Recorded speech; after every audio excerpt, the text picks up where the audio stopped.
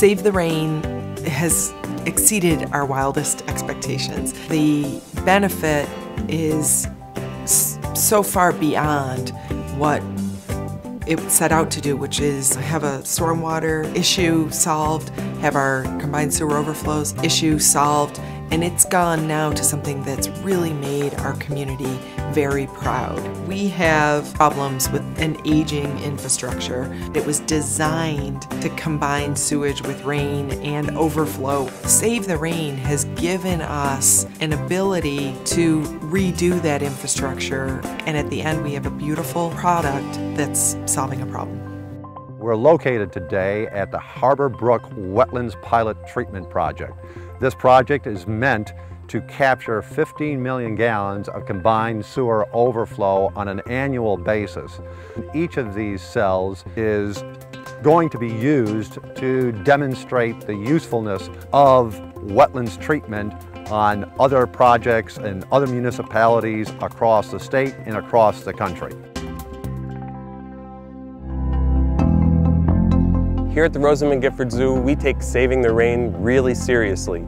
From cisterns to wetlands to porous pavement to green roofs, we have it all. And not only do our visitors benefit, and it gives us a great opportunity to teach them about how to be responsible and how important it is to save the rain, but our animals benefit as well. Today I'm standing in Onondaga County War Memorial Sports Arena. We're the first professional hockey team in the nation to skate on frozen rainwater. Through our innovative cistern system, we're able to capture rainwater and melt the snow from the roof of our arena. Through filtration and an ultraviolet disinfecting process, we're able to produce this quality ice that you see behind me.